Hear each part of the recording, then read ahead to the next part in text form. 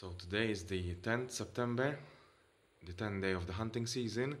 This morning we were called to attend to this marsh harrier which was found by a cyclist going along the road between Mġarr and Tuffieħa.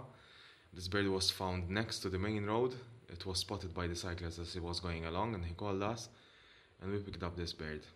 Um, it's a marsh harrier, one of our more common birds of prey to migrate at this time of the year.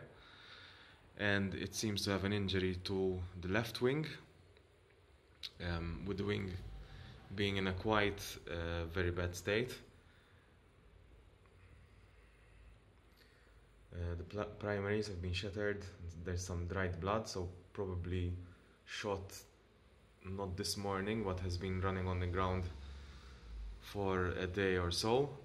And also from the tail feathers, we can tell that the bird has been running on the ground for a while.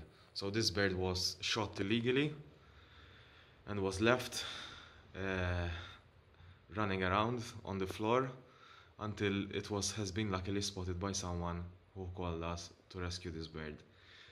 We will now be taking it to the vet and determine the best way forward for the species.